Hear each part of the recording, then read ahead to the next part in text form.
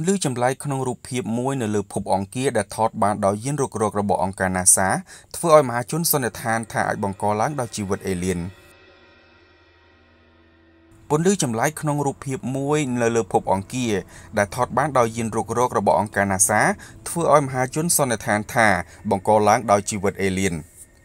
ភាពមិនប្រក្រតីនៅក្នុងរូបភាពមួយនៃភពអង្គារដែលថតបានដោយយានរុករក Curiosity របស់ទីភ្នាក់ងារអវកាសអាមេរិក NASA បានធ្វើឲ្យអ្នកប្រើប្រាស់បណ្ដាញសង្គមជាច្រើនយល់ថា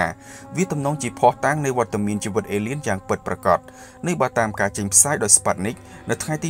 27ខែមិថុនាឆ្នាំ2019 យាន Curiosity របស់អង្គការ NASA បានបន្តបាញ់បញ្ជូនរូបភាពនៃភពអង្គារត្រឡប់មកកាន់ភពផែនដីចាប់តាំងពីវាបានចុះចតទៅដល់ទីនោះកាលពីឆ្នាំ2012រូបភាពដែលធ្វើឲ្យសាធារណជនមានការភ្ញាក់ផ្អើលនាពេលថ្មីៗនេះគឺត្រូវបានថតកាលពីថ្ងៃទី16ខែមិថុនាឆ្នាំ2019នេះ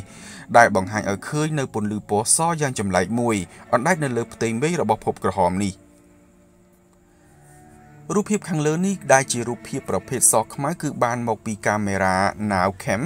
នៅផ្នែកខាងស្ដាំរបស់ Curiosity យ៉ាងណាមិញភ្លាមភ្លាមនោះវាមិនទាន់ច្បាស់នោះឡើយទេថាតើពន្លឺសនោះបង្កឡើងដោយសារអ្វីព្រោះថារូបភាពផ្សេងផ្សេងទៀតដែលថតនៅមុននិងក្រោយរូបភាពដែលផ្ទុកភាពមិនប្រក្រតីមិនបានបង្ហាញពន្លឺសនៅចំណុចនោះទេ គូជំរាបថាគណៈមហាជនភាគច្រើនបានសន្និដ្ឋានភ្លាមភ្លាមថាវាអាចជាភស្តុតាងនៃវត្តមានរបស់ពួកអេលៀនអង្គការ NASA បានចេញមកបកស្រាយថាពន្លឺចម្លែកនោះគ្រាន់តែជាបាតុភូតមួយកើតចេញពីឥទ្ធិពលនៃពន្លឺព្រះអាទិត្យប៉ុណ្ណោះរូបភាពស្រដៀងគ្នាដែលថតបានដោយ Curiosity កាលពីឆ្នាំ2014ក៏បានបង្កភាពភ្ញាក់ផ្អើលមិនខុសគ្នាដែរប៉ុន្តែត្រូវបានអង្គការ NASA បញ្ជាក់ថាគ្រាន់តែជាចំណាំងផ្លាតនៃពន្លឺព្រះអាទិត្យប៉ុណ្ណោះ។ យន្តហោះដ្រូនមួយនេះនឹងចាក់ចេញពីផែនដីនៅឆ្នាំ2026រួចទៅដល់ព្រះច័ន្ទនៃភពសៅរ៍នៅឆ្នាំ2034 នេះមិនមែនជាគម្រោងមួយដែលត្រូវតម្រូវឲ្យជ្រើសរើសរវាងគម្រោងជាច្រើនទៀតរបស់អង្គការ NASA ទៀតនោះឡើយព្រោះកម្មវិធីបញ្ជូនដ្រូនទៅកាន់ប្រច័នទីតាំងរបស់ភពសៅរ៍នេះត្រូវបានកំណត់យកជាផ្លូវការរួចទៅហើយគណៈក្រុមការងារអភិវឌ្ឍបេសកកម្មនេះកំពុងដុតដៃដុតជើងផងដែរដើម្បីធ្វើឲ្យបានសម្រេចជោគជ័យទៅតាមការកំណត់នោះគឺការបាញ់បង្ហោះនៅឆ្នាំ2026និងហោះទៅដល់ព្រះច័ន្ទទីតាំងនៅឆ្នាំ2034នេះបើតាមការផ្សាយដោយ CNA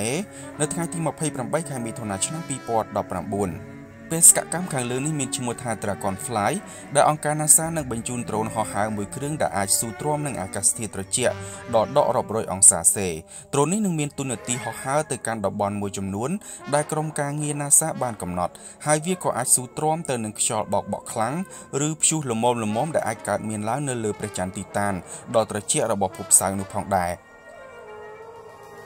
ក្រុមអ្នកវិទ្យាសាស្ត្រដែលសិក្សាទៅលើប្រច័នទីតានចាប់តាំងពីការបញ្ជូនយានអវកាស Cassini និងយាន Huygens ទៅដល់ទីនោះកាលពីឆ្នាំ2004និងឆ្នាំ2005បានចាប់អារម្មណ៍យ៉ាងខ្លាំងចំពោះមហាសមុទ្រធំធំរបស់ប្រច័ននេះហើយសម្រាប់បរិយាកាសរបស់ប្រច័នទីតានវិញគឺត្រូវបានអ្នកវិទ្យាសាស្ត្រសង្ស័យថា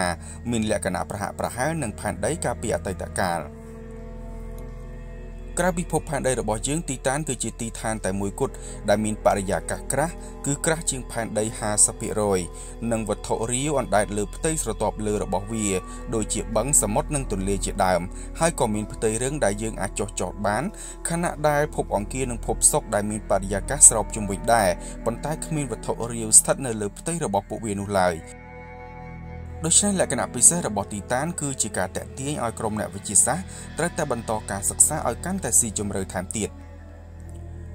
ជំនួយបេសកកម្មដែលកំពុងស្ថិតនៅក្នុងការអភិវឌ្ឍនេះដែរប្រធានអង្គការ NASA បច្ចុប្បន្នគឺលោក Jim Bridenstine បានលើកឡើងយ៉ាងដូចនេះថា